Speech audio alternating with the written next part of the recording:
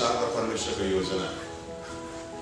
हामी धेरै जसो मान्छेले चाहिँ आफ्नो जीवन चाहिँ नेचुरल लेभलमा प्राकृतिक संसारमा देखेको सुनेको अनुभव गरेको कुराले जिउँछौँ। तर प्रकाशले चाहिँ तपाईँलाई त्योदेखि माथि लगेर परमेश्वरले तपाईँलाई राखिदिनु भएको फ्युचर देखाउँदछ भविष्य। अनि जब तपाईँले त्यसलाई देख्न सक्नुभयो त्यसलाई विश्वास चाहिँ गर्न सक्नुभयो भनेदेखि तपाईँले त्यो भविष्यद्वारा चाहिँ तपाईँको वर्तमानमा परिवर्तन गर्नु सक्नुहुन्छ। परमेश्वरको प्रकाशले तपाईँलाई जहिले पनि परमेश्वरले तपाईँको लागि राखिदिएको भविष्य देखाउँदछ। जो चाहिँ तपाईँको अहिलेको वर्तमानसित मिल्दैन। तर तपाईँले परमेश्वरको वचनभित्र उहाँले बोल्दै गरेको प्रकाशलाई चाहिँ समात्नुभयो भनेदेखि त्यो प्रकाशले तपाईँलाई वर्तमानदेखि निकालेर भविष्यमा पुर्याउँदछ। अनि तपाईँले परमेश्वरले राखिदिरहेको योजनालाई भेटाउन सुरु गर्नुहुन्छ अनि म विश्वास गर्छु Emmanuel church as a whole परमेश्वरको योजनाभित्र पस्दैछ। म अस्तिदेखि यहाँ तपाईँलाई केही कुरा बुझाउन खोज्दैछु तर पनि मलाई लाग्छ तपाईँहरूको आँखा अझै पनि खुलेको छैन। यो चाहिँ बुझाएर बुझ्ने कुरा होइन यो चाहिँ देख्ने कुरा हो। अनि अब मेरो बेसी छैन नौ दस दिन मात्रै छ तपाईँहरूसित मलाई भित्र के हुँदैछ भने म जे देखाउन खोज्दैछु तपाईँले त्यसलाई देख्नुहुन्छ कि हुँदैन भन्ने। तर तपाईँ एउटा सिजन चेन्ज हुने एउटा संहारमा पुग्नु भएको छ ऋतु परिवर्तनको संहारमा। तपाईँले त्यसलाई देख्नु चाहिँ सक्नुभयो भनेदेखि नि अचम्मको परमेश्वरको योजना तपाईँको चर्चमा खुल्छ। जो चाहिँ इमानुएल चर्चको लागि मात्र होइन तर त्यो चाहिँ यो एटलान्टाको यो सारा इलाकाभरि भएको मण्डलीहरूको लागि एउटा चाबी हुनेछ। परमेश्वरले तपाईँलाई दिएको कुराद्वारा चाहिँ धेरै चर्चहरूले परमेश्वरको योजनालाई भेटाउन सुरु गर्ने छ। त पास्टरले एकदमै शक्तिशाली कुरा भन्नुभएको छ यसलाई तपाईँले मनमा राख्नुहोस् प्रार्थना गर्नुहोस् अनि यसलाई तपाईँले समात्ने कोसिस गर्नुहोस्। तथापि आजको वचन चाहिँ त्यो छैन। म तपाईँलाई अर्कै वचन प्रचार गर्न लागेको छु। रेडी हुनुहुन्छ? तपाईँहरू वचन सुन्न? मोबाइल फोनहरू भने स्विच अफ गराउँ अनि रेकर्डिङ गर्दै हुनुहुन्छ भने फ्लाइट मोडमा राखौँ। नानीहरू छ भने उनीहरूलाई यसो सम्हालौँ। हामी केही पल परमेश्वरको वचन सुन्नेछौँ। डानियलको किताब एघार अध्यायको बत्तीस पदलाई हामी पढ्नेछौँ। माथि पावर पोइन्टमा बाइबलको वचन हालिएको छ। तपाईँले मसित एकसाथमा मिलेर पढ्दाखेरि हुन्छ। दानियल एघारको बत्तीस। करार भङ्ग गर्नेहरूलाई त्यसले झुटो प्रशंसा गरेर भ्रष्ट पार्नेछ। तर आफ्ना परमेश्वरलाई चिन्नेहरूले दृढता साथ त्यसको विरोध गर्नेछ। करार भङ्ग गर्नेहरूलाई त्यसले झुटो प्रशंसा गरेर भ्रष्ट पार्नेछ। तर आफ्ना परमेश्वरलाई चिन्नेहरूले दृढता साथ त्यसको विरोध गर्नेछ म इङ्ग्लिसमा पढ्छु Those who do wickedly against the covenant, he shall corrupt with flattery. But the people who know their God shall be strong and carry out great exploits. यसको ब्याकग्राउन्ड अलिकति तपाईँलाई बताऊ दानियल एघार अध्याय डल्लै अगमबानीले भरिएको अध्याय हो यो चाहिँ। दानियलले दर्शनमा देख्दैछ परमेश्वरले के चाहिँ गर्न लागेको छ? अनि उसले जुन अगमबानी त्यो एघार अध्याय भरि गरेको छ त्यो अगमबानीमा चाहिँ दुईवटा त्यसको साइडहरू छ। एउटा चाहिँ अगमबानीलाई इन्टरप्रिटेसन गर्ने जुन तरिका छ त्यसलाई त्यसमा चाहिँ यसलाई के भनिन्दछ इमिडिएट फुलफिलमेन्ट। उसले गरेको अगमबानीको जुन कुराहरू छ त्यो चाहिँ उसको पालामा नै पुरा हुन्थ्यो कतिवटा कुराहरू। कुन राज्य कसको विरुद्धमा उठ्छ कुन चाहिँ पोलिटिकल चेन्ज आउँछ अनि त्यो चेन्ज आउँदाखेरि समाजमा के देखा पर्छ भन्ने कुरा डल्लै बोलेको चाहिँ पूर्वको राजा उत्तरको राजा यसरी आउँछ यो गर्छ भन्ने कुरा। अनि ती कुराहरू चाहिँ धेरै धेरै कुराहरू चाहिँ दानियलको पालामा पुरा भए उसले गरेको अगमबानीहरू तर बाइबलको हरेक अगमबानीको फेरि अल्टिमेट फुलफिलमेन्ट पनि हुन्छ। अल्टिमेट फुलफिलमेन्ट भनेको चाहिँ त्यो जमानामा गरेको अगमबानीहरू त्यति बेला पनि पुरा भए त्यसलाई इमिडिएट फुलफिलमेन्ट भन्छ। तर ती अगमबानीहरू भित्र चाहिँ के देख्छौँ भने अन्तिम दिनमा लास्ट डेजमा कस्तो घटना घट्छ भन्ने वर्णन पनि तपाईँले त्यहाँभित्र देख्नुहुन्छ त्यसलाई चाहिँ अल्टिमेट फुलफिलमेन्ट भन्छ। अन्तिम समयमा पनि त्यो अगमबानी पुरा हुँदै गरेको छ। त्यस कारण लास्ट डेजको नक्सा पनि त्यसभित्र देख्न सकिन्छ। तर त्यति बेलै पुरा हुँदै गरेको घटना होस् कि या अन्तिम दिनमा पुरा हुँदै गरेको घटना होस् एघार अध्यायभित्र चाहिँ अगमबानी पाउनुहुन्छ तपाईँहरूले पढ्नुभयो भने। अनि तपाईँले यसलाई पढ्दै जानुभयो भनेदेखि तपाईँले त्यहाँ के देख्नुहुन्छ? एउटा शक्तिशाली कुरा छ जो चाहिँ त्यति बेला हुँदै गरेको घटना भए पनि या अन्तिम दिनमा घट्दै गरेको घटना भए पनि दुइटैमा तपाईँले एउटा कुरा चाहिँ बराबर सत्य ठहरेको देख्नुहुन्छ। अनि त्यो चाहिँ के भनेदेखि सैतानको कार्य। सैतानले कसरी चाहिँ पोलिटिकल स्ट्रक्चरहरूलाई चलाउँदछ समाजमा घट्दै गरेको घटनालाई कसरी चाहिँ चलाउँदछ त्यसको पछाडि लुकेर कसरी चाहिँ काम गर्दछ भन्ने कुरा चाहिँ त्यति बेलाको जमानामा घट्ने राजनैतिक घटनाभित्र नै सैतानले काम गरेको तपाईँले देख्न सक्नुहुन्छ। अनि अन्तिम दिनमा घट्दै गरेको घटनाहरूको पछाडि पनि सैतानले आफ्नो रणनीतिको साथमा काम गरिराखेको तपाईँले भेटाउनु हुन्छ यस कारण साझा कुरा चाहिँ के छ भनेदेखि दानियलको जमानामा होस् कि अहिलेको जमानामा सैतान चाहिँ एउटै सैतान अनि त्यो चेन्ज भएको छैन। याद राख्नुहोस् है। दोस्रो कुरो चाहिँ के भनेदेखि सैतान मात्र नबदलेको होइन। त्यसको तरिका पनि के छ? प्रिन्सिपलहरू पनि त्यति बेलाको जमानामा र अहिलेको जमानामा पनि त्यसको प्रिन्सिपल चाहिँ त्यही नै छ। अनि शक्तिशाली कुरा चाहिँ के छ भनेदेखि नि त्यसलाई विजयी गर्ने त्यसलाई जित्ने परमेश्वरका सिद्धान्तहरू पनि त्यो जमानामा पनि बदलेको छैन अनि अहिलेको जमानामा पनि बदलेको छैन। तपाईँले यहाँनिर यसो हेर्नुभयो भनेदेखि करार भङ्ग गर्नेहरूलाई त्यसले झुटो प्रशंसा गरेर भ्रष्ट पार्नेछ तर आफ्ना परमेश्वरलाई चिन्नेले दृढता साथ त्यसको विरोध गर्नेछ। यहाँनिर एउटा तपाईँले हेर्नुभयो भनेदेखि डिसेप्सन लाइ झुट सैतानको त्यति बेलाको समयदेखि लिएर अहिलेसम्म पनि त्यसको एउटा शक्तिशाली काम गर्ने तरिका चाहिँ हो झुट बोल्नु। अनि त्यो चाहिँ झुट चाहिँ यस्तो तरिकाले बोल्दछ कि मान्छे चाहिँले चाहिँ के गर्दछ त्यो डिसेप्सन त्यो लाइलाई चाहिँ सत्य भनेर पत्याउँदछ। अनि त्यस झुटद्वारा त्यसले मान्छेको मनलाई चाहिँ कब्जा गर्न सक्यो भनेदेखि त्यसले मान्छेको आत्मालाई कब्जा गर्न सक्छ। अनि त्यसले मान्छेको शारीरिक इलाकामा भौतिक इलाकामा पनि विनाश ल्याउन सक्दछ। याद राख्नुहोस् है तपाईँ र मेरो मन चाहिँ डोर किपर हो ढोके हो। जसबाट भएर चाहिँ आत्मामा पनि पस्न सकिन्छ अनि शारीरिक इलाकाले पनि बदलाउन सकिन्छ। सैतानलाई थाहा छ कि त्यसले तपाईँको मनलाई चाहिँ कब्जा गर्न सक्यो भनेदेखि त्यसले तपाईँको आत्मालाई बन्धनमा पार्न सक्छ। अनि त्यसले तपाईँको मनलाई चाहिँ कब्जा गर्न सक्यो भनेदेखि तपाईँको भौतिक र शारीरिक इलाकामा घट्ने परिस्थितिहरूमाथि त्यसको अधिकार गर्न सक्छ भने त्यसलाई थाहा छ। अनि सैतानले मान्छेको मनलाई कब्जा गर्ने अनि मान्छेको मनलाई अधीनमा ल्याउने एउटा शक्तिशाली उपाय चाहिँ के हो भनेदेखि झुट। सबैले झुट भन्नुहोस् त। अनि यहाँनिर के भनेको छ भने यहाँ के भनेको त्यसले झुटो प्रशंसा गरेर फ्ल्याटरिज भनेको छ है त फ्ल्याटरिज भनेको चाहिँ जुन कुरा जस्तो होइन त्यस्तो भनेर छक्याउनु झुक्याउनु अनि आफ्नो काम बनाउनुलाई चाहिँ के भन्दछ भनेदेखि नि फ्ल्याटरिज भन्छ। झुटको त्यसले सहारा लिँदछ। अनि झुटद्वारा त्यसले मान्छेको मनलाई चाहिँ कब्जा गर्न सक्यो भनेदेखि त्यसले के गर्दछ भनेदेखि मान्छेको आत्मालाई पनि बन्धनमा पार्न सक्दछ। अनि शारीरिक इलाकामा हुँदै गरेको परिस्थितिलाई पनि त्यसले बदलाउन सक्दछ। तर आजको दिन म तपाईँलाई एउटा शक्तिशाली कुरा के भन्न लागेको छु भनेदेखि सैतानको झुटलाई सामना गर्ने एउटै मात्र तरिका के छ? परमेश्वरलाई चिन्नु। याद राख्नुहोस् है। तपाईँले आफ्नो परमेश्वरलाई जति नजिकबाट चिन्नुहुन्छ परमेश्वरसित तपाईँ जति घनिष्ठ परिचय हुन्छ त्यसको झुट तपाईँको अगाडि टिक्नु सक्दैन।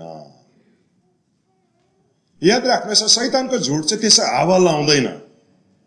त्यसले यस्तो तरिकाले कन्भिन्सिङले झुट बोल्छ तपाईँलाई त्यो कुरा के लाग्छ? सत्य हो भन्ने लाग्न सुरु हुन्छ। तर तपाईँले त्यो झुटलाई चिन्ने एउटै मात्र तरिका र त्यसलाई जित्ने एउटै मात्र तरिका त्यहाँनिर के लेखेको छ?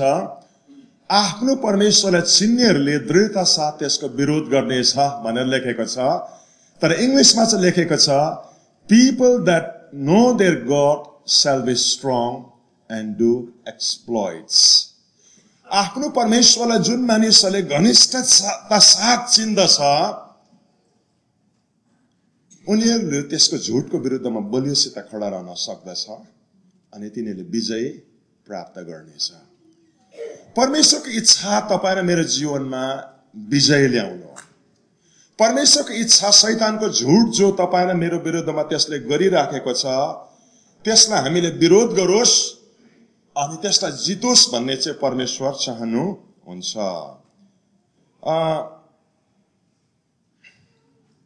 म तपाईँलाई बाइबलको एउटा उदाहरणमा लैजान लागेको छु। अगाडि बढाउन।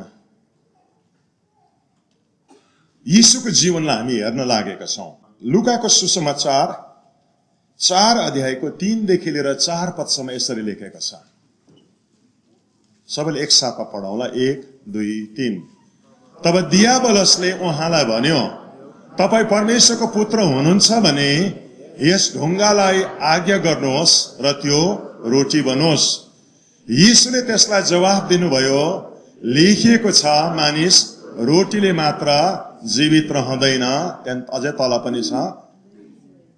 यहाँनिर सैतानले यीशुलाई परीक्षा गर्नका लागि आएको छ।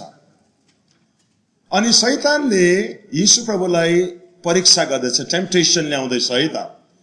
अनि ल्याउँदाखेरि चाहिँ के भन्दैछ भने तपाईँ परमेश्वरको पुत्र हो भने के चाहिँ प्रमाण छ त? याद राख्नुहोस् है यीशु प्रभु जब संसारमा आउनुभयो परमेश्वरको पुत्र संसारमा आउँदाखेरि बाइबलले भन्दछ उहाँले आफ्नो ईश्वरत्व चाहिँ स्वर्गमा छोड्नुभयो अनि उहाँले ह्युम्यानिटीलाई ओढेर आउनुभयो मान्छे भएर आउनुभयो। यसर्थ त्यहाँनिर जब सैतानको सामना यीशुले गर्दै हुनुहुन्छ त्यति बेला चाहिँ नि जस्तो तपाईँ जस्तो म त्यस्तै उहाँ हुनुहुन्छ। उहाँ आफ्नो डिभिनिटीमाथि आफ्नो ईश्वरतामाथि भर परेको छैन। उहाँलाई त्यति बेला साह्रो परिराखेको छ मनमा शङ्का उपशङ्का उब्जिराखेको छ अनि त्यति बेला चाहिँ सैतानले आएर के भन्दछ भनेदेखि नि तपाईँ परमेश्वरको पुत्र हुनुहुन्छ भने के चाहिँ प्रमाण छ त? अनि तपाईँ परमेश्वरको पुत्र हुनुहुन्छ भन्ने प्रमाण तपाईँले गर्नुहोस्। यो ढुङ्गालाई के गर्नुहोस्? रोटी बनाउनुहोस् अनि खानुहोस्। त्यति बेला यीशु प्रभु उपवास बसेको चाहिँ चालिस दिन भइसकेको छ। अनि त्यो चालिस दिनमा उपवास बस्दै गर्दाखेरि प्रविश्वलाई भोक लागेको छ साह्रो परिराखेको छ। अनि त्यति बेला सैतानले आएर एउटा शक्तिशाली झुट चाहिँ के बोल्दैछ भनेदेखि नि तपाईँ परमेश्वरको पुत्र हुनुहुन्छ भनेदेखि यो ढुङ्गालाई रोटी हुने आज्ञा गर्नुहोस्। तपाईँले यो ढुङ्गालाई यसो टिपेर रोटी हु भन्दाखेरि तपाईँले यसलाई रोटी बनाउन सक्यो चाहिँ भनेदेखि तपाईँ परमेश्वरको पुत्र। रोटी बनाउन सकिन भनेदेखि तपाईँ परमेश्वरको पुत्र होइन। याद राख्नुहोस् है त। अनि शक्तिशाली कुरा चाहिँ के छ भनेदेखि प्रभु ढुङ्गालाई रोटी बनाउन सक्नुहुन्थ्यो कि हुन्थेन होला? हजुर? बाइबलमा कतै उदाहरण छ? यस्तो उदाहरणहरू? हजुर? प्रभु नि पानीलाई लिएर चाहिँ के बनाउनु भयो? हजुर दाखरस बनाउनु भयो भनेदेखि पानीलाई दाखरस बनाउने यीशुलाई चाहिँ ढुङ्गा टिपेर रोटी बनाउन चाहिँ के छैन गाह्रो छैन। तर यीशु प्रभुले त्यसलाई के गर्नु भन्नु भन्नु त्यसो गर्न मान्नु भएन। किनभनेदेखि यो चाहिँ एउटा शक्तिशाली रूपमा शैतानले यीशु प्रभुलाई के चाहिँ भन्न खोज्दैछ भने यसलाई चाहिँ एउटा शब्दमा भन्नु हो भने पर्फर्मेन्स बेस्ड आइडेन्टिटी भनेर भन्छ। पर्फर्मेन्स बेस्ड आइडेन्टिटी भनेको चाहिँ तपाईँले यो कुरा गर्न सक्यो भनेदेखि तपाईँ परमेश्वरको पुत्र। तपाईँले यो कुरा गर्नु सकेन भनेदेखि तपाईँ परमेश्वरको पुत्र होइन। तपाईँले पर्फर्म गर्नु सक्नुभयो भनेदेखि। अनि आजको दिन सैतानले तपाईँ र मेरो जीवनमा बोल्ने एउटा शक्तिशाली झुट चाहिँ के हो भन्नुहोस् त? पर्फर्मेन्स हो। याद राख्नुहोस् है त। पर्फर्मेन्स भनेको चाहिँ के हो भनेदेखि तैँले यो गर्न सकिस् तैँले यो गर्न सकिस् तैँले यो गर्न सकिस् तैँले यो गर्न सकिस् अथवा तँ परमेश्वरको सन्तान होस् उद्धार पाएको मान्छे होस् या परमेश्वरले तँलाई माया गर्नुहुन्छ भने तेरो जीवनमा यो हुनुपर्छ यो हुनुपर्छ यो हुनुपर्छ यो हुनुपर्छ यो हुनुपर्छ। तर कैयौँचोटि तपाईँले के गर्नुहुन्न भनेदेखि तपाईँको जीवनमा हुँदै गरेको कुराहरू त्यो एक्सपेक्टेसन चाहिँ तपाईँले के गरेको देख्नुहुन्न मिलेको देख्नुहुन्न। अनि त्यति बेला नि सैतानको स्ट्रङ झुट चाहिँ तपाईँको जीवनमा के चाहिँ बोल्दछ भनेदेखि नि तैँले भनेको जस्तो प्रार्थना गर्न सकेको छैनस्। तैँले भनेको जस्तो पवित्र जीवन बिताउन सकेको छैनस्। तैँले भनेको जस्तो बाइबल पढ्न सकेको छैनस्। तैँले भनेको जस्तो विजयी जीवन बिताउन सकेको छैनस्। यसकारण तँ परमेश्वरको छोरा हो परमेश्वर तँलाई माया गर्नुहुन्छ भने के चाहिँ प्रमाण छ? किनकि सैतानले जहिले पनि के देखाउँदछ भने तपाईँको जीवनको के देखाउँदछ? फेलियरहरू देखाउँदछ। हिजो तपाईँले प्रार्थना गर्नु नसकेको। यो अस्तिको दिन तपाईँले गरेको भुल। त्योभन्दा अगाडि तपाईँले बिताउन नसकेको सही जीवन बिताउन नसकेको असफलता त्यसले तपाईँलाई देखाउँदछ है त? अनि जब त्यसले तपाईँलाई ती कुराहरू देखाउन लाग्दछ अनि तपाईँले आफैलाई म परमेश्वरको मान्छे हो मैले उद्धार पाएको हो भनेर प्रमाण गर्नुको लागि झन् बेसी प्रार्थना गर्ने कोसिस गर्नुहुन्छ। झन् बेसी के गर्ने कोसिस गर्नुहुन्छ भने बाइबल पढ्ने कोसिस गर्नुहुन्छ। झन् बेसी तपाईँले पवित्र जीवन बिताउने प्रयास तपाईँले गर्नुहुन्छ। तर एउटै कुरा याद राख्नु शक्तिशाली कुरा। प्रभु यीशुले नि रोटी बनाउन सक्नुहुन्थ्यो ढुङ्गालाई तर उहाँले के गर्न भने त्यसो गर्न मान्नु किनकि उहाँलाई थाहा थियो ढुङ्गालाई मैले रोटी बनाए पनि नबनाए पनि म के हो? परमेश्वरको पुत्र नै हो। उहाँलाई त्यो कुरा भित्रबाट थाहा थियो। यस कारण उहाँले के भनेको छ भनेदेखि नि मान्छे रोटीले होइन तर केद्वारा बाँच्दछ? परमेश्वरको वचनले। भन्नुको मतलब के हो भनेदेखि नि मेरो पर्फर्मेन्सले मलाई परमेश्वरको पुत्र भनेर प्रमाण गर्दैन। म परमेश्वरको पुत्र हुँ किनभने परमेश्वरले भन्नुभएको छ। तपाईँ र मेरो लागि एउटा शक्तिशाली परमेश्वरको वचन चाहिँ के हो भनेदेखि नि उहाँले तपाईँको बारेमा के भन्छ भन्ने कुरा चाहिँ के हो भन्दा त तपाईँको लागि सबभन्दा जरुरी हो। तपाईँको जीवनको असफलता तपाईँको जीवनको भुल तपाईँको जीवनको गल्ती तपाईँको जीवनमा हुँदै गरेको गलत कुरालाई देखाएर सैतानले तपाईँलाई नि तैँले उद्धार पाएको छैनस्। परमेश्वर तँलाई माया गर्दैन भन्ने कुरा तपाईँलाई के हुन्छ भनेदेखि भित्र कन्भिन्स गर्न खोजिराखेको छ होला है त। तर त्यो सबै कुराको बिचमा तपाईँ फर्केर केमा जानुपर्छ? परमेश्वरको अगाडि जान जरुरी छ।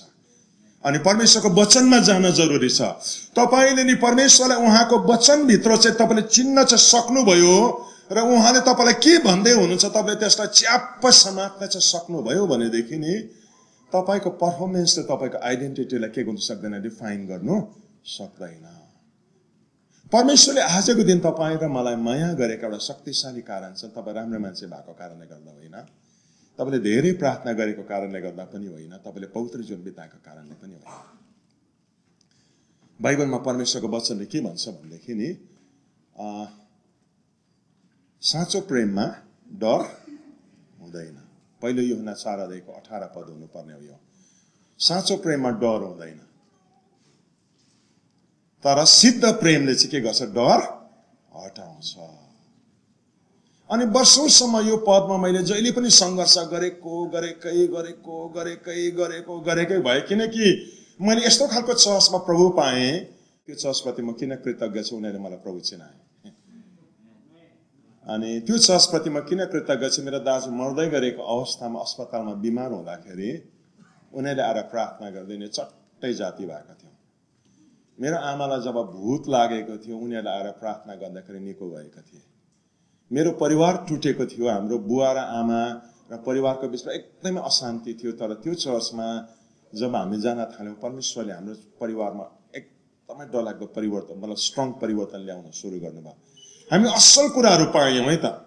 तर कतिवटा कुरा जुन कुराहरूको बारेमा मैले त्यो चर्चमा गरेको सङ्घर्ष चाहिँ के थियो भनेदेखि नि त्यो चर्च चाहिँ एकदमै पर्फर्मेन्समा जोड दिने चर्च थियो।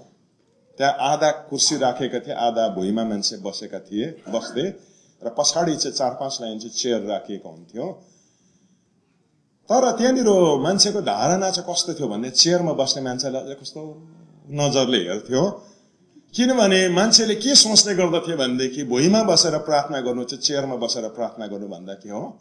राम्रो हो भन्ने कुरा। अनि घुँडा टेकेर प्रार्थना गर्नु झन् बसेर प्रार्थना गर्नु भन्दा के हो? राम्रो हो। अनि टिचिङ चाहिँ कस्तो हुन्थ्यो भनेदेखि धर्मी मान्छे चाहिँ उसको घुँडाले चिनिन्छ भन्ने टिचिङहरू हुन्थ्यो है? किनभनेदेखि यर्मियाको घुँडा चाहिँ के जस्तो थियो अरे? उँटको छाला जस्तो। सुन्नुभएको तपाईँले? किनकि त्यो मान्छे बेसी घुँडा बसेर प्रार्थना गर्थ्यो अरे भन्ने टिचिङ एकदमै बेसी हुन्थ्यो। अर्को टिचिङ कस्तो पनि हुन्थ्यो भने सुक्खा प्रार्थना चाहिँ के प्रार्थना? भन्ने टिचिङहरू हुन्थ्यो है त। प्रार्थनामा चाहिँ के आउनुपर्छ आँसु बिलाउन र बिलाप हुनुपर्छ भन्ने।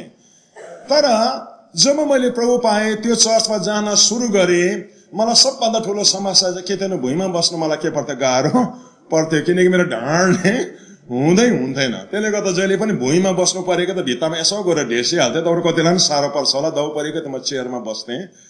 अनि मलाई सधैँभरि चाहिँ के हुन्थ्यो भनेदेखि म परमेश्वरका सामुनि जस्तो मैले जीवन प्रस्तुत गर्नुपर्छ त्यस्तो गर्नु सकेको छुइनँ भन्ने। जब जब म टिचिङ सुन्थेँ टिचिङ चाहिँ के सुन्थेँ भनेदेखि धर्मी मान्छे चाहिँ घुँडाले चिनिन्छ अरे भन्दा कोही कोही बेला म घरमा साँच्चै नै तपाईँलाई लिटरली भन्छु घरमा गएर प्यान्ट पल्टाएर यसो हेर्दै पनि घुँडा तर मेरो घुँडा चाहिँ म प्रथम त के भनेदेखि सानैदेखि घुँडामा बस्नु चाहिँ एकदम गाह्रो पर्ने। ट्राई त दिएँ मैले निकै दिन पिल्सियो पनि घुँडा अलिअलि। घुँडा पिल्सिँदा चाहिँ अलिक के लाग्थ्यो? प्रभुको नजिक गएँ के यस्तो लाग्थ्यो त्यो त्यति बेला? अनि के हुन्थ्यो भनेदेखि नि त्यो घुँडाको त्यो राम्रो घुँडा देख्दाखेरि या प्रार्थनामा आँसु नआउँदाखेरि मलाई भित्र के हुन्थ्यो भनेदेखि म परमेश्वरको सामु कहिले पनि के हुन सकेको छैन ग्रहण योग्य हुन सकेको छुइनँ। भने सधैँभरि मलाई भित्र मैले परमेश्वरले पर्याप्त प्रेम गर्न सकेको छुइनँ। अनि त्यति बेला अर्को टिचिङ चाहिँ त्यहाँनिर के पनि हुन्थ्यो भनेदेखि अन्तिम दिनमा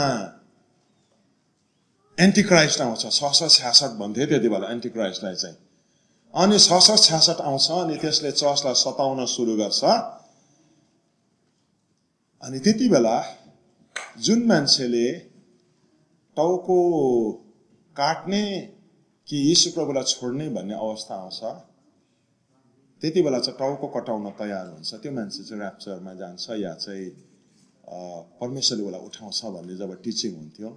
मलाई भित्र जहिले पनि के डर चाहिँ लाग्थ्यो भनेदेखि नि लाहु मेरो अगाडि हात हात काट्ने कि प्रभुलाई स्वीकार गर्ने भने टेम्पटेसन आयो भने म सक्छु होला कि सक्दिनँ होला। अनि म जहिले पनि आफैभित्र के देख्थेँ भनेदेखि सायद त्यो अवस्था पुग्यो भनेदेखि त म विश्वासलाई थाम्नु सक्नुहुन्छ कि त म भित्र डर लाग्दै थियो है त।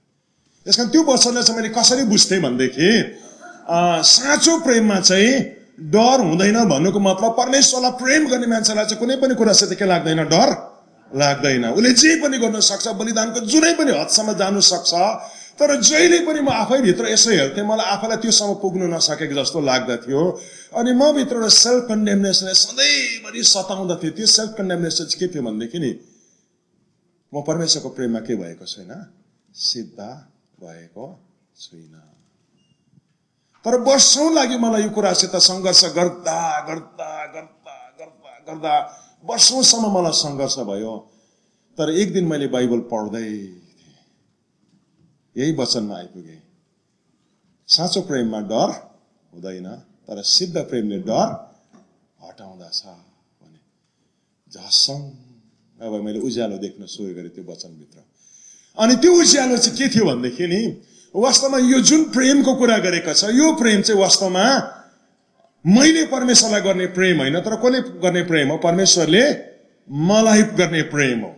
अनि परमेश्वरले मलाई गर्ने प्रेम चाहिँ मेरो योग्यतामाथि आधारित छैन। बाइबलले के भन्छ भने जब हामी पापी थियौँ के थियौँ अरे? पापी। घिनलाग्दो पापी थियौँ। या अलिकति राम्रो राम्रो खालको पापी थियौँ होला है त। तर कुरा चाहिँ के भनेदेखि घिनलाग्दो भयो नि पापी के हो? पापी नै हो। अलिक राम्रो भयो भने पापी चाहिँ के हो? पापी नै हो। म चर्चमा के भन्ने गर्छु भने मुर्दा चाहिँ मुर्दा हो। हिजो मरेको मुर्दा हो भने मुर्दै हो। दस दिन अगाडिको मरेको मुर्दा हो भने के हो?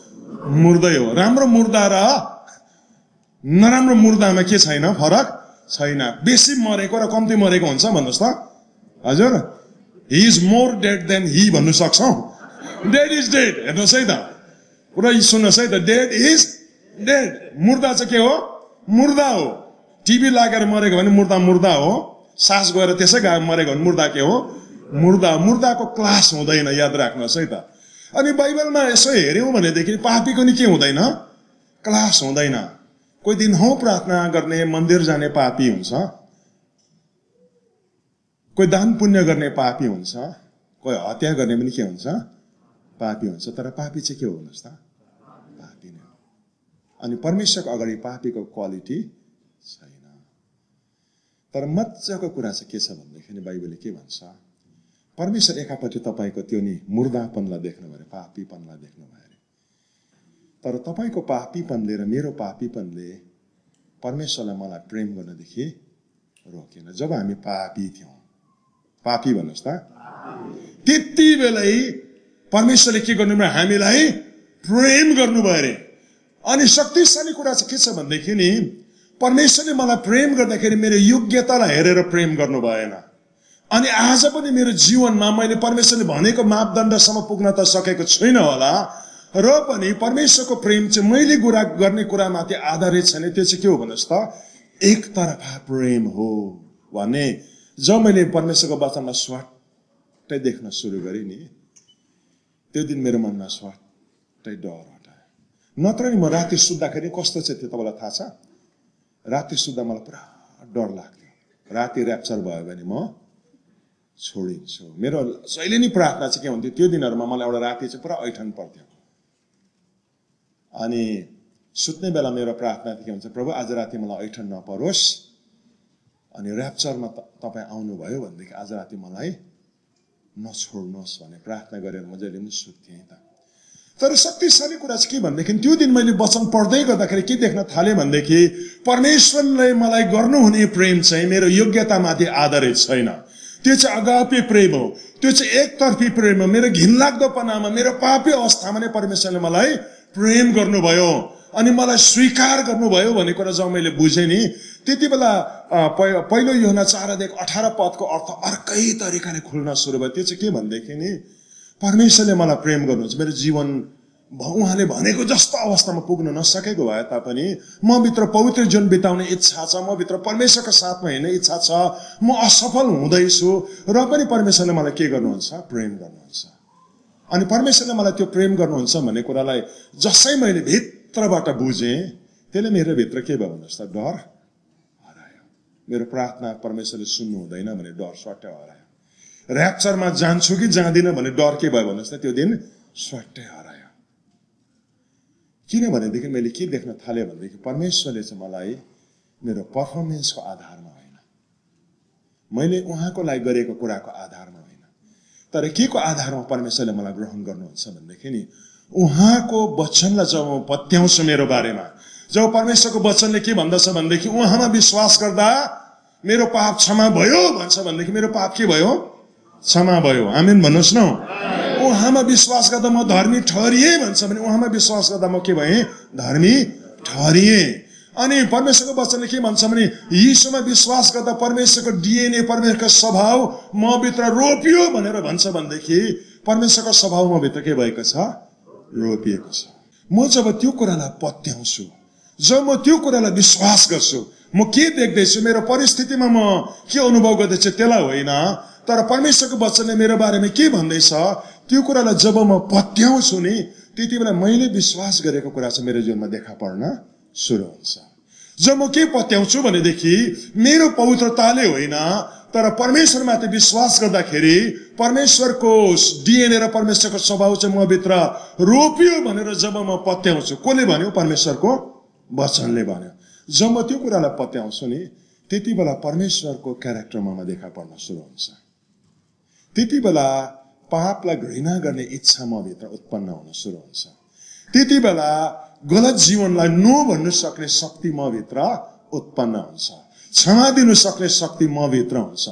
जुन कुरा सही होइन त्यसदेखि अलग भएर जिउने शक्ति चाहिँ म भित्र उत्पन्न हुँदछ। यस कारण आज पहिलो शक्तिशाली कुरा म तपाईँलाई के बताउँछु भने सैतानले बोल्ने एउटा शक्तिशाली झुट चाहिँ हो।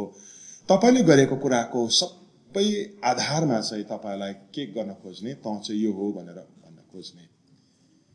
तर यीशु प्रभुले के भन्नुभयो भनेदेखि नि मैले रोटी बनाए पनि मैले रोटी नबनाए पनि म के हो परमेश्वरको पुत्र किनभने परमेश्वरको वचनमा के भएको छ? लेखिएको छ कि मान्छे चाहिँ परमेश्वरको वचनद्वारा जिउँदछ म तपाईँलाई आज एउटा शक्तिशाली कुरा के भन्छु यस सत्यतालाई तपाईँलाई च्याप्प समात्नु भयो भने जीवनको उतार चढाउबाट कोही बेला तल जानुहुन्छ कोही बेला के हुनुहुन्छ? माथि आउँछ। कोही बेला विजयी जीवनमा जिउनुहुन्छ कोही बेला तपाईँ त्यतिको विजय जीवनमा जिउन सक्नुहुन्न होला। तर त्यो सबै कुराबाट जाँदै गर्दाखेरि तपाईँको विश्वास के हुँदैन तर्केर जाँदैन। सेकेन्डमा म तपाईँलाई अर्को पद देखाउँछु ल। लुका चारको नौदेखि लिएर बाह्र पदमा तपाईँले यसो हेर्नुभयो भनेदेखि त्यहाँ के लेखेको छ भनेदेखि नौ दस एघार बाह्र म पढ्दैछु ल सुन्नुहोस्। तब त्यसले उहाँलाई यरुसलेममा लगेर मन्दिरको टुप्पामा राख्यो र उहाँलाई भन्यो तपाईँ परमेश्वरको पुत्र हुनुहुन्छ भने यहाँबाट हाम फाल्नुहोस्। किनभने लेखिएको छ उहाँले तिम्रो रक्षा गर्न स्वर्गदूतहरूलाई आज्ञा गर्नुहुनेछ। र तिमीहरूलाई तिमीहरू तिमीलाई हात हातै समात्नेछ नत्र तिम्रो खुट्टा ढुङ्गामा ठोकिनेछ यसोले त्यसलाई जवाब दिएर भन्नुभयो यसो भनिएको छ तैँले परमप्रभु आफ्ना परमेश्वरलाई मात्र दण्डवत गर्नु अनि उहाँको मात्रै सेवा गर्नु। सुन्नुहोस् है। सैतानले नि प्रभु यीशुलाई सेकेन्ड ठाउँमा लग्यो। अनि त्यो ठाउँ चाहिँ के त मन्दिरको टुप्पामा लगेर याद राख्नु चाहिँ मन्दिरको टुप्पाको कुरा किन गरेको छ म तपाईँलाई बताउँदैछु। मन्दिरको टुप्पामा लगेर के भन्यो अरे?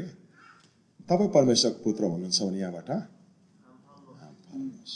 तपाईँले जसै हाम फाल्नुहुन्छ तपाईँ ओह्रालो झर्दा झर्दै स्वर्गदूतले आएर च्याप समात्छ यसो चाहिँ किन भन्यो होला? मन्दिरको कुरा चाहिँ किन गर्यो होला? मन्दिरको टुप्प भने जब यीशु प्रभुले यसो लगेर उभ्यायो हेर्नुहोस् यरुसलेमको मन्दिर कति चाहिँ अल्गो थियो। त्यो टुप्पमा लगेर जब यीशु प्रभुलाई राख्यो यीशु प्रभुले यसो ओह्रालो हेर्दाखेरि मन्दिरको आँगनमा को देख्यो होला? कल्पना गर्नुहोस् त को देख्यो होला? कल्पना गर्नुहोस् त तपाईँ त्यो यरुसलेमको मन्दिरको टुप्पमा त्यो जमानामा पुग्नु भयो तपाईँले ओह्रालो हेर्दाखेरि के देख्नुहुन्छ? हजुर? हजुर? भुइँ। तर नि याद राख्नुहोस् भुइँ त सबले देख्छ है तर यसो माथिबाट हेर्दाखेरि नि यरुसलेमको मन्दिर ठुलो मन्दिर त्यो मन्दिरमा बलिदान चढाउने जाने मान्छेहरू थियो होला थुप्रो थुप्रो तर त्यो सबैको भिडमा चाहिँ को देख्यो भने शास्त्रीहरू फरिसीहरू पुजारीहरू लेबीहरू जसले जीवनमा कहिल्यै पनि यीशुलाई के गरेन एक्सेप्ट गरेन परमेश्वरको पुत्र भनेर कहिले पनि स्वीकार गरेन। यीशु प्रभुलाई कहिल्यै पनि मान्यता दिएन। मन्दिरको टुप्पामा लगेर सब ओह्रालो हेर्दाखेरि देख्दैछ तल त्यो महापुजारी जसले यीशु प्रभुलाई कहिले पनि के गरेन स्वीकार गरेन। त्यो लेबी जसले यीशु प्रभुलाई कहिले पनि पत्याएन। त्यो जिविस काउन्सिलको मेम्बरहरू त्यो प्रार्थना गर्नु आउँदै गरेको जसले कहिले पनि यीशु प्रभुलाई मान्यता दिएन। सैतानले के भन्दछ? यहाँबाट हाम फाल्नुहोस् त। तपाईँले सोही हाम फाल्दा तपाईँलाई झर्दै गरेको देख्छ र स्वर्गदूतले आएर तपाईँलाई हावामा च्याप्प समातेर उकालो लगेको जब महापुजारी देख्छ त्यो दिन उसले तपाईँलाई के गर्छ? पत्याउँछ। त्यो दिन के हुन्छ? ऊ तपाईँको भक्त हुन्छ। त्यति बेला संसारको सबै त्यो तलको मान्छे तपाईँलाई के गर्छ? वा हुन्छ। तपाईँ एक रातमा तपाईँ के भन्नुहुन्छ? सेलिब्रिटी एक रातमा तपाईँ के भन्नुहुन्छ? पपुलर मान्छे बन्नुहुन्छ पपुलारिटी तपाईँले हासिल गर्नुहुन्छ। अनि यसलाई चाहिँ नि एक शब्दमा भन्नु हो भने के भन्नुहोस् त? अघिको यदि पर्फर्मेन्स बेस्ड आइडेन्टिटी थियो भने यो चाहिँ के हो भन्नुहोस् त? पपुलारिटी बेस्ड आइडेन्टिटी कोही कोही तपाईँलाई के लाग्छ भनेदेखि नि मलाई सबैले चिन्यो मलाई सबैले मन परायो मैले सबैको वा वा पाएँ म सबैको सामु एक्सेप्ट भएँ। मैले फेसबुकमा कुनै कुरा पोस्ट गर्दाखेरि कति मान्छेले लाइक गर्छ कतिको लागि त एकदमै इम्पोर्टेन्ट छ है त? या मैले युट्युबमा एउटा केही कुरा हाल्यो भनेदेखि एक महिनामा कतिवटा यस्तो आउँछ? या कति मान्छेले सब्सक्राइब गर्छ कति मान्छेले लाइक गर्छ? अनि कैयौँचोटि नै हाम्रो चिन्हारी चाहिँ केले आधारित हुँदछ भने कति धेरै मान्छेले चाहिँ मलाई फलो गर्छ? कति धेरै मान्छेले मलाई मन पराउँछ? कति धेरै मान्छेले मलाई वाह वाह गर्छ? कति धेरै मान्छेले मलाई स्वीकार गर्छ भन्ने कुराले चाहिँ नि के के हुँदछ भनेदेखि हाम्रो चिन्हारीलाई प्रभावित गर्न खोज्दै गरेको हुन्छ है त। अघिको चिनारीमा हेऱ्यो भनेदेखि मैले सही जीवन बिताउन सक्यो भनेदेखि म ठिक मान्छे। अहिलेको चिनारीमा तपाईँले यसो हेर्नुभयो भनेदेखि म सबैको सामु पपुलर हुन सकेँ। मलाई सबैले मन परायो। मलाई सबैले स्वीकार गर्यो। सबैले मलाई माया गर्यो भनेदेखि चाहिँ तपाईँले आफैलाई सही मान्छे जब देख्नुहुन्छ नि त्यो चाहिँ के हो भने सैतानले तपाईँले मेरो जना बोल्दै गरेको? झुट। हो म तपाईँलाई आज एउटा शक्तिशाली कुरा के भन्छु भनेदेखि नि तपाईँको वर्थ र तपाईँको मूल्य चाहिँ मान्छेले तपाईँलाई मन पराउँछ कि मन पराउँदैन त्यसमाथि आधारित छैन। तपाईँलाई कसैले मन पराएन भने पनि तपाईँले फेसबुकमा पोस्ट हाल्दाखेरि एक महिनामा दुईवटा जस्तो मात्र यस्तो आयो भने पनि। हेर्नुहोस् है त यहाँ चाहिँ तपाईँलाई फलो गर्ने मान्छे कोही पनि छैन भने पनि तपाईँको मूल्य तपाईँको चाहिँ के माथि आधारित छैन? मान्छेको सामु तपाईँ कतिको पपुलर हुनुहुन्छ भन्ने कुरामाथि आधारित छैन। तपाईँको मूल्य चाहिँ के माथि आधारित छ भनेदेखि परमेश्वरको वचनले तपाईँलाई के भन्दछ? आमेन भन्नुहोस् न। परमेश्वरले तपाईँको वचन त उहाँको वचनभित्र तपाईँको बारेमा के चाहिँ भनेको छ तपाईँले त्यसलाई भेटाउनु भयो अनि तपाईँले त्यसलाई विश्वास गर्नुभयो तपाईँले त्यसलाई च्याप्प समात्नुभयो त्यसमा चाहिँ जिउनु भयो भनेदेखि नि चर्चमा आउँदा तपाईँलाई कसैले जयमसी गरे पनि के जस्तो लाग्दैन। अनि जयमसी नगरेको दिन पनि के के जस्तो लाग्दैन। बजार जाँदाखेरि सबैजना गाडीमा घराप ग्रुप चढ्यो तपाईँको लागि सिट पुगेन भने पनि तपाईँलाई के जस्तो लाग्दैन। अनि तपाईँलाई फ्रन्ट सिटमा बसेर लगेको दिन पनि के जस्तो लाग्दैन। किनकि तपाईँको वर्थ तपाईँको मूल्य चाहिँ नि मान्छेले तपाईँलाई एक्सेप्ट गर्छ कि गर्दैन माथि आधारित छैन। म चाहिँ भन्दैछु सुन्नुहोस् तपाईँलाई गहिरो कुरा भन्दैछु। हामी धेरैजनाले आफ्नो आइडेन्टिटीसित किन स्ट्रगल गर्दैछौँ भनेदेखि नि हामीले हाम्रो आइडेन्टिटी हामीले म को हुँ मेरो के मूल्य छ भन्ने कुरा चाहिँ अरूले मलाई एक्सेप्ट गर्छ कि गर्दैन। अरूले मलाई मन पराउँछ कि मन पराउँदैन? यो चाहिँ तपाईँको मात्र स्ट्रगल होइन। यो चाहिँ मेरो पनि हो स्ट्रगल हो हेर्नुहोस् है त। हरेकपल्ट जब मिनिस्ट्री गर्न जान्छु मान्छेले मैले बोलेको बच्चालाई कतिको सर्काउँछ या मलाई कतिले चाहिँ बाहिर निस्केर हात मिलाउँछ? यदि मैले त्यस कुरामाथि मेरो चिन्हारेर चाहिँ बेस गर्न सुरु गरेँ भनेदेखि नि म डल्छु अनि यो चाहिँ सैतानको के हो भन्नुहोस् त? झुट झुट भन्नुहोस् त। तर अघि हामीले दानियलको वचनमा पढेका छौँ जुन मान्छेले परमेश्वरलाई नजिकबाट चिन्छ सैतानको झुटको अगाडि पनि त्यो मान्छे बलियोसित खडा रहन सक्छ अनि त्यसले विजय प्राप्त गर्छ।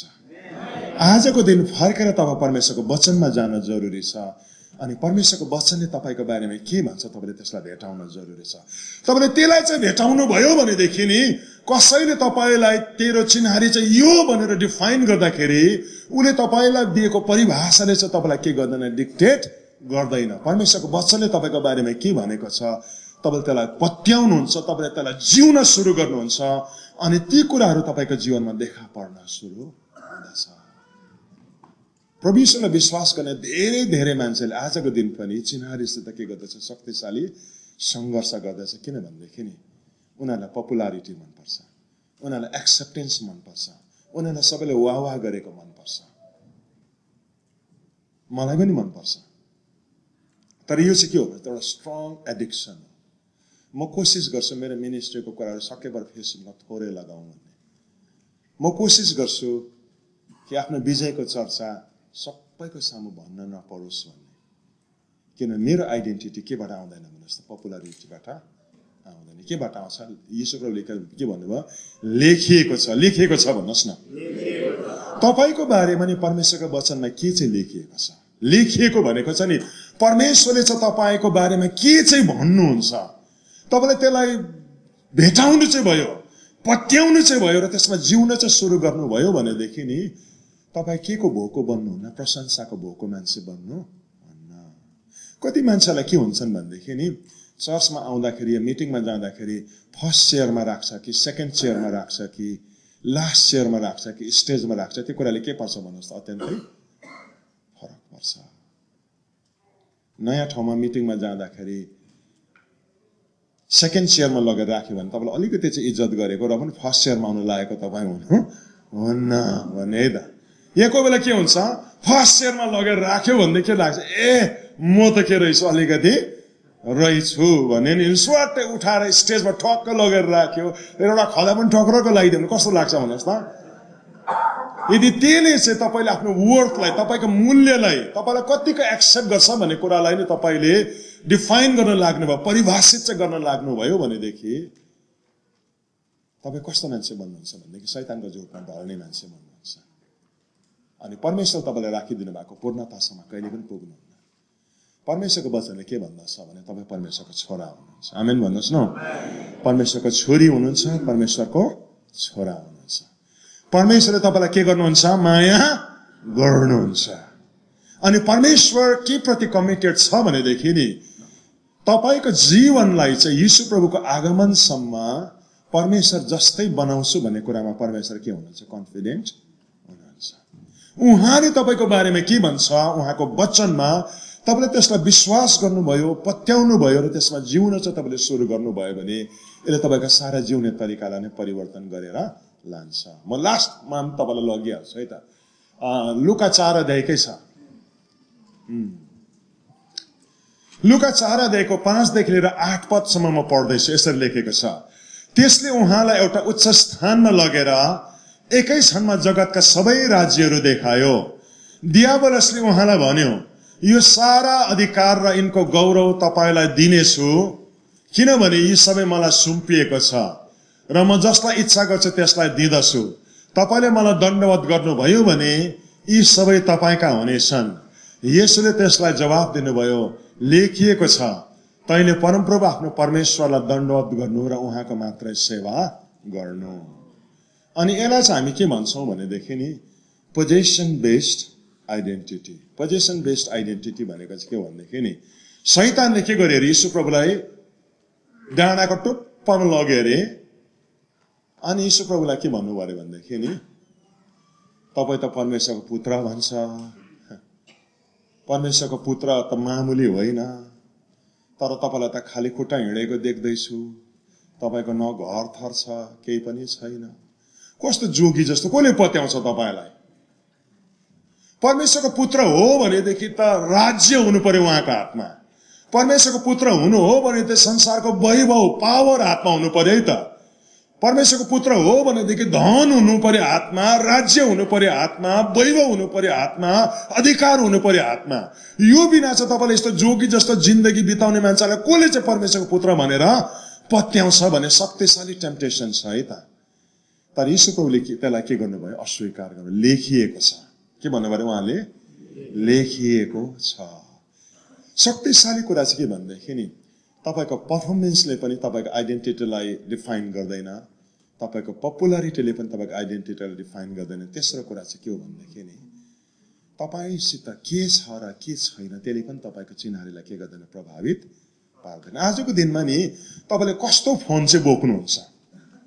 हेर्नुहोस् त कैयौँचोटि तपाईँले आफूलाई केद्वारा परिभाषित गर्ने कोसिस गर्दै गरेको हुन्छ भनेदेखि नि तपाईँलाई त्यो फोन चाहिन्छ कि चाहिँदैन कि तपाईँसित त्यो किन्ने पैसा छ कि छैन कि?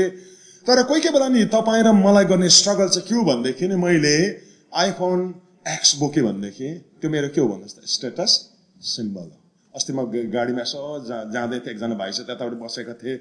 एकजना मान्छे यहाँ गाडी लिएर आयो। अनि त्यो भाइले मलाई भन्यो फास्ट अब उयो गाडी हेर्नुहोस् न उयो गाडी हेर्नुहोस् उयो गाडी हेर्नुहोस् न यसो हेरेको त। मलाई त चिनेन पनि त्यो गाडी। कस्तो खालको गाडी हो भाइ भनेको त यो फरारी हो। अरे यो चाहिँ यहाँको टप मान्छेले मात्र चढ्छ। यो चाहिँ अब यसको दाम कति हो भनेर उसले मलाई दाम पनि बतायो। कति भन्ने थाहा छैन। त्यहाँदेखि मैले नि यसो के यो निकालेँ। उहाँले मलाई नखिच्नुहोस् है नखिच्नुहोस् त्यो देख्यो भने अहिले रिसाउँछ अरे एकजना मान्छेले त्यो अब चलाएर जाँदै रहेछ। सुइँ यहाँ जाँदो रहेछ है त त्यो। अनि मैले यसो छड्के चाहिँ खिचेँ पठाएँ दुई तिन सर्ट चाहिँ खिचेँ।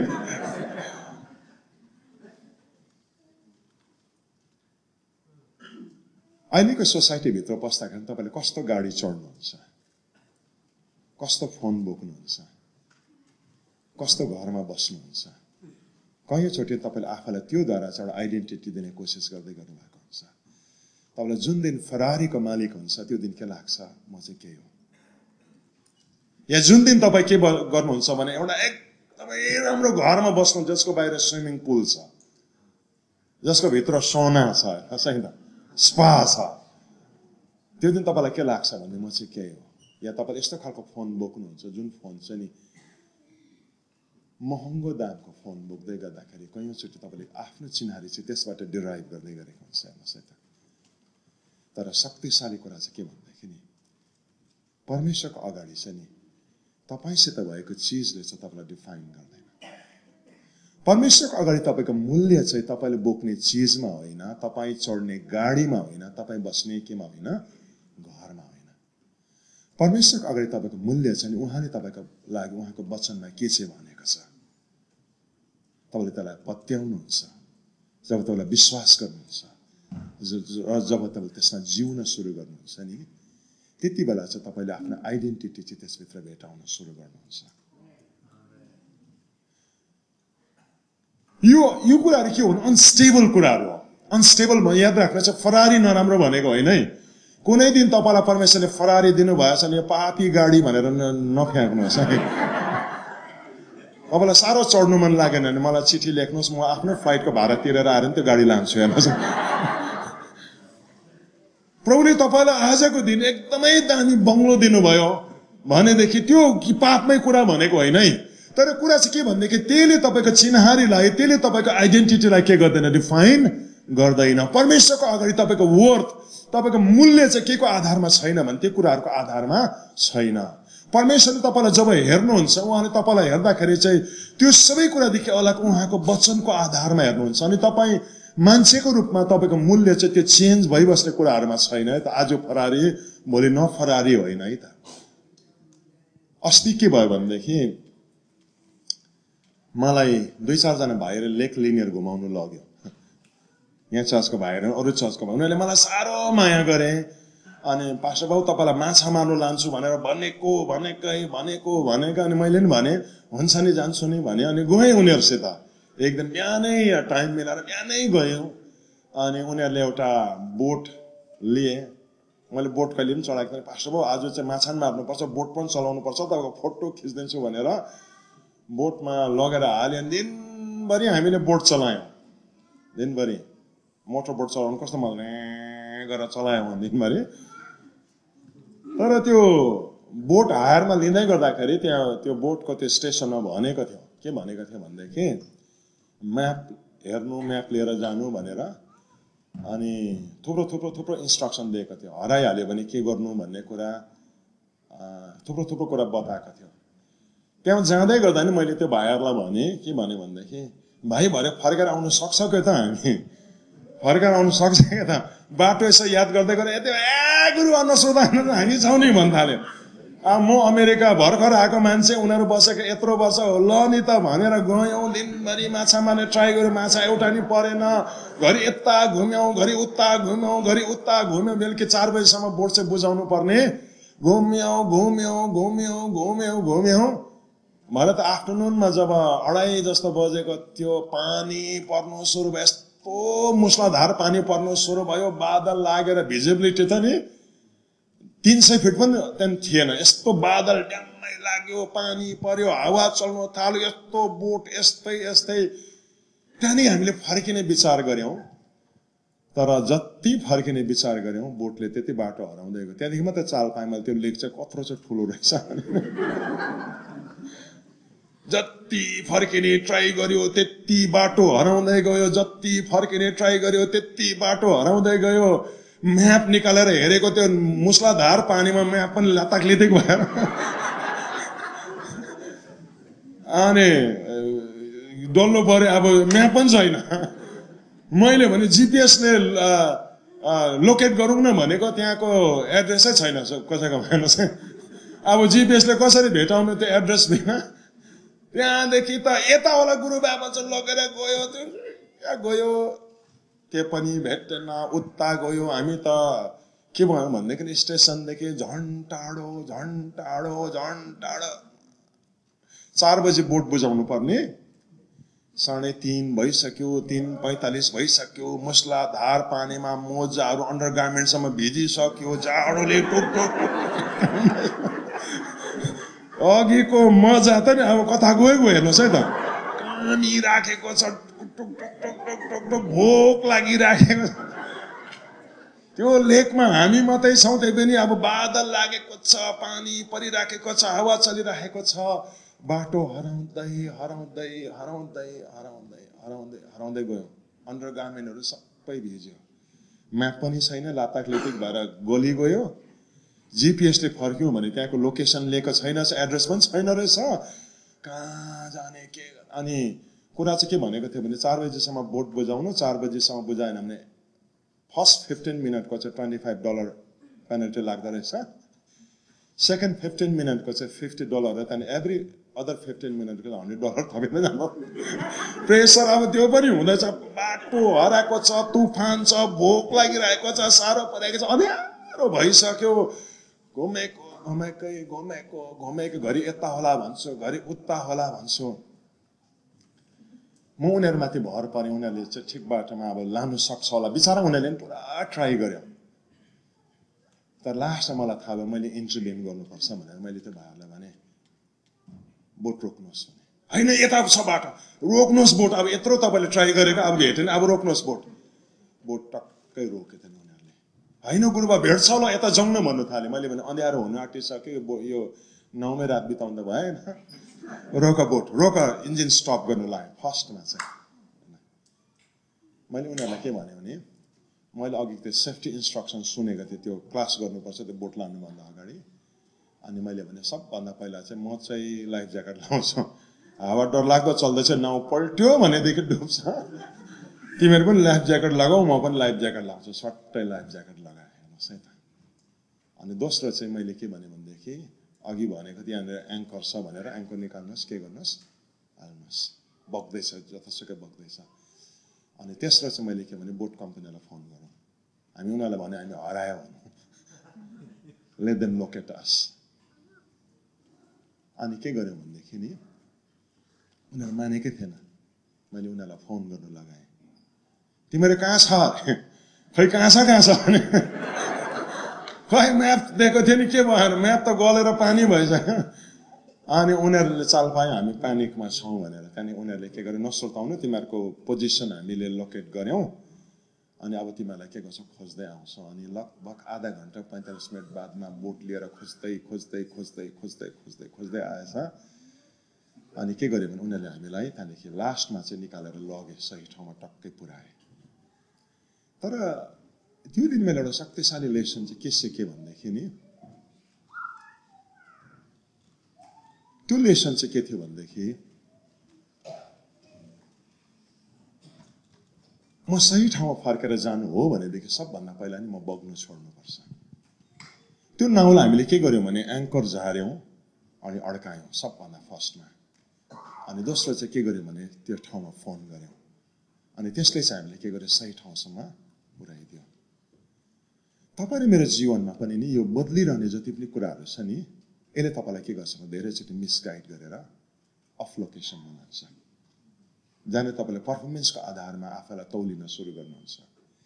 या चाहिँ तपाईँले के को आधारमा तौलिन सुरु गर्नुहुन्छ भनेदेखि नि तपाईँको पपुलारिटीको आधारमा या चाहिँ तपाईँको पोजिसनको आधारमा आफूलाई तौलिन सुरु गर्नुहुन्छ तपाईँ कन्फ्युज हुँदै हुँदै हुँदै जानुहुन्छ। तर परमेश्वरको सत्यता परमेश्वरको वचन चाहिँ के जस्तो हो भनेदेखि त्यो एङ्कर जस्तो हो। जस्तो तपाईँलाई के गर्छ? बग्नदेखि बचाउँछ। मान्छेले तपाईँलाई भन्ला कि तँ गरिब भन्ला है त तर त्यो भन्दै गर्दा तपाईँ फर्केर केमा जानु पर्यो परमेश्वरको वचनमा? यो लेखिएको छ भन्नुहोस् त। तपाईँले जसै त्यो त्यसमा आफ्नो एङ्करलाई त्यो लङ्गुरलाई तपाईँले टक्कै अडाउनुहुन्छ नि त्यसले तपाईँलाई के गर्छ भनेदेखि बग्नदेखि बचाउँछ। जसरी हामीले फोन गऱ्यौँ फोन गर्दाखेरि जस्तै तिनीहरूसित हाम्रो बातचित भयो प्रथम त तिनीहरूले हामीलाई गाइड गर्ने ट्राई गरे अनि हामी बाहिर जब निस्किनु सकेनौँ उनीहरूले आएर त्यस्तो मुस्लाधारे तुफानको बिचमा नि उनीहरूले हामीलाई गाइड गरेर निकाले किनकि मलाई थाहा थियो उनीहरूले मलाई त्यो सेफ्टी इन्स्ट्रक्सन दिँदाखेरि एउटा चाहिँ के भनेको थियो इनकेस हराइहाल्यो भनेदेखि कल गर्नु एक सौ बिस डलर चाहिँ एक्स्ट्रा लाग्छ तर हामी आएर निकाल्छौँ भनेको थियो। बिहान मैले त्यति सुन्नु चाहिँ फाइदा गरेको छैन। अनि त्यो इन्स्ट्रक्सनलाई जसै मैले समातेँ अनि त्यसमा जब म झुन्डिएँ त्यसले मलाई के गरेँ त्यसदेखि बाहिर निकाल्यो। आजको दिन म तपाईँलाई के भन्छु भनेदेखि नि तपाईँ कन्फ्युज हुनुहुन्छ होला। तपाईँ अल्लमल्ल हुनुहुन्छ तपाईँ बाहिर निस्कने बाटै भेट्नु भएको छ होला। Go back to the word of God परमेश्वरको वचनमा के गर्नुहोस् फर्केर जानुहोस्। उहाँले तपाईँको जीवनको बारेमा के बोल्दै हुनुहुन्छ? तपाईँको परिवारको बारेमा के बोल्दैछ? तपाईँको अस्तित्वको बारेमा तपाईँको आइडेन्टिटीको बारेमा उहाँको वचनभित्र उहाँले के चाहिँ बोल्दै हुनुहुन्छ त्यो चाहिँ तपाईँको लागि के हो भने शक्तिशाली मार्गदर्शन हो। यसले तपाईँलाई के गर्छ? बाहिर निकाल्छ। यसको मतलब यो होइन है कि प्रविश्वलाई विश्वास गर्ने मान्छेले गलत जीवन बिताउँदा हुन्छ भनेको होइन। तर परमेश्वरले तपाईँलाई के भन्नुभएको छ? त मेरो छोरा भन्नुभएको छ।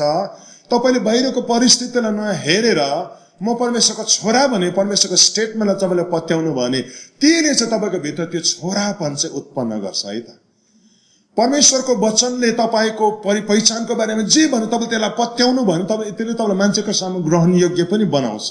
तर बनाएन भने पनि तपाईँ परमेश्वरको छोरा हो परमेश्वर तपाईँलाई के गर्नुहुन्छ? माया गर्नुहुन्छ। अनि तेस्रो शक्तिशाली कुरा छ नि तपाईँसित भएको थोकहरू गलत हो भन्यो भने परमेश्वरले मान्छेलाई धन दिनुहुन्छ सम्पत्ति दिनुहुन्छ असल कुराहरू दिनुहुन्छ।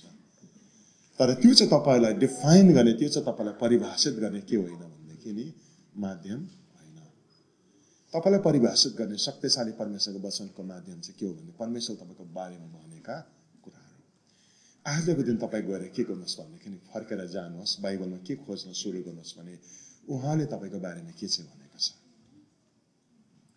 उहाँले म तपाईँलाई उदाहरणको लागि बताइदिन्छु। तपाईँ परमेश्वर वचनमा पढ्नुभयो भने सबभन्दा पहिलो कुरा नै के भनेको छ?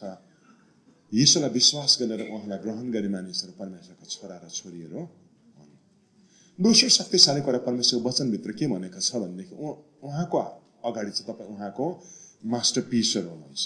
उहाँको हातको उत्कृष्ट कला। परमेश्वरको वचनमा तपाईँ जानुभयो भने त्यहाँ के भनेको छ? तपाईँ विजेता भन्दा महान हुनुहुन्छ। परमेश्वरको वचनमा तपाईँ जानु चाहिँ भने तपाईँको बारेमा के लेखेको छ? तपाईँको चङ्गाई यीशु प्रभुले किनिसक्नु भएको छ। तपाईँले त्यो वचनलाई पढ्नुभयो त्यो वचनलाई मेडिटेट गर्नुभयो अनि मनमा एउटा नक्सा निर्माण गर्नुभयो त्यसमा जिउन चाहिँ सुरु गर्नुभयो भने भित्रको त्यो नक्सा चाहिँ बाहिर घटनाको रूपमा देखा पर्न सुरु हुन्छ। अनि त्यसले चाहिँ के हुन्छ भनेदेखि तपाईँको आउटर रियालिटी रियालिटीलाई पनि त्यसले बिस्तारै चेन्ज गर्न र बदलाउन सुरु गर्दछ। यो होइन कि परमेश्वरलाई विश्वास गर्ने मान्छे जे जहिले पनि गरिब नै हुन्छ भने पनि होइन। परमेश्वरलाई विश्वास गर्ने मान्छे जहिले पनि अनपपुलर नै बस्छ एक्लो नै बस्छ भन्ने पनि होइन। परमेश्वरलाई विश्वास गर्ने मान्छे जहिले पनि एउटा लुइरी जीवन नै बिताउँछ भन्ने पनि होइन। तर कुरा चाहिँ के भनेदेखि नि तपाईँको सोर्स चाहिँ परमेश्वर हुनुहुन्छ। अनि जब तपाईँले नि परमेश्वरले तपाईँको बारेमा भनेको कुरालाई पत्याउनुहुन्छ प्रथम त पहिला पत्याउँदै गर्दाखेरि त्यो तपाईँको भित्र त्यो एउटा नक्सा मात्र हुन्छ। तर जब तपाईँलाई पत्याउनुहुन्छ तपाईँले मुखले स्वीकार गर्नुहुन्छ अनि तपाईँले त्यसलाई दिन जिउन जब सुरु गर्नुहुन्छ त्यसले चाहिँ के हुँदछ भने तपाईँले पत्याएको परमेश्वरको वचनमा समातेका कुराहरू चाहिँ बाहिर घटनाको रूपमा जब देखा पर्न सुरु हुन्छ त्यसले तपाईँको बाहिरको परिस्थितिलाई पनि बदलाउन सुरु गर्छ। अनि त्यो कुरा बाहिर पनि देखा पर्न लाग्दछ। म यहाँनिर वचनलाई अन्त गर्न लागेको छु। तर म फेरि पनि तपाईँलाई एउटा शक्तिशाली कुरा के भन्छु भने तपाईँको चर्च एउटा शक्तिशाली परिवर्तनको बिचबाट जाँदैछ।